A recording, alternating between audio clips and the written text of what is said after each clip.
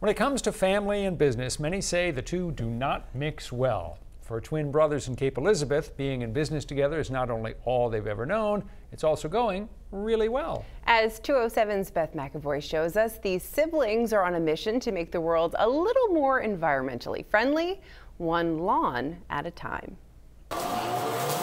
It's said that necessity is the mother of invention. We were freshmen in high school, and all of our friends were starting to get jobs.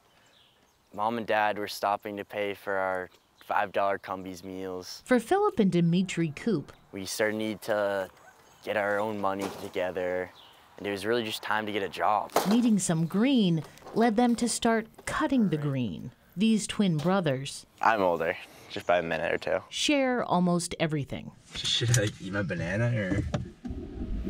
Yeah, can I have some of it? from breakfast to their lawn care business.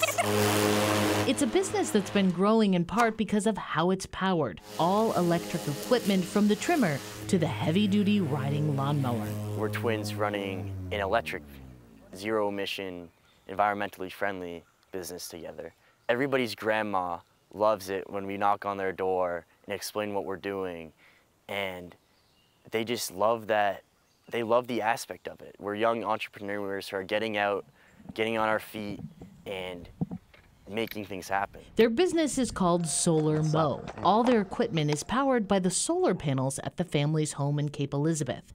The brothers attribute their success to their father. Our dad actually ran a lawn business when he was in high school himself. He's got a very, you know, forward-thinking mind.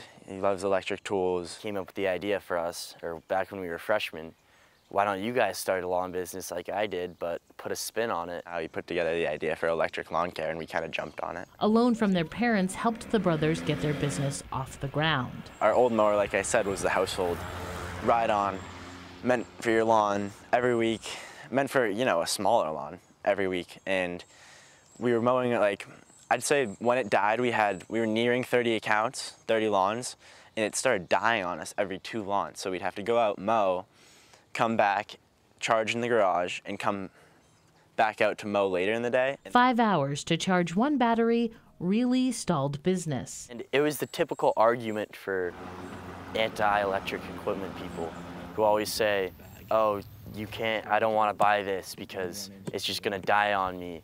Like, oh, how often do you have to charge that thing? I don't want to charge that thing and have to go out twice a time and mow. But to be honest with you, if we hadn't ran a lawn care business with that household grade mower, it would be completely great. Two summers ago, the brothers took things up a notch when they purchased a $24,000 mower. When they saw the price tag, Huge gasp, and now it's a huge sigh of relief that we've we have succeeded in paying it back. But at the time, it was it was a decision to even invest in it. You know, we didn't we didn't know if we wanted to. their hard work is paying off, and they've already paid off their industrial grade mower. Most of their 30 clients are purposefully close to their home. We have our Ford F-150, which that's our, that's our only gas kind of kink right now we have in the business. When they can, they use an electric vehicle to get to their jobs. We actually have a Ford Escape, which gets up to 50 miles of electric runtime. Working with your twin brother has its advantages. You don't feel bad yelling at each other That's true. and fighting. That's, We're not afraid to Very put each other in each other's places. yeah. These teenagers play off each other's strengths. I'd say Dimitri's really good at being on schedule. You know, when we make a plan, following through with it. One of Philip's strengths is that he takes pride in all of the work that he does. He won't, no matter if he's tired or whatever, he won't miss a spot. He'll hit every spot. And he's very polite to all of our customers. He's a really good businessman. He's good at getting up early, you know, being on time to places. but recognize they still have room for improvement. I think he can improve on his attitude at times. I'd say getting up in the morning. Even before this interview, I was shaking him in his bed.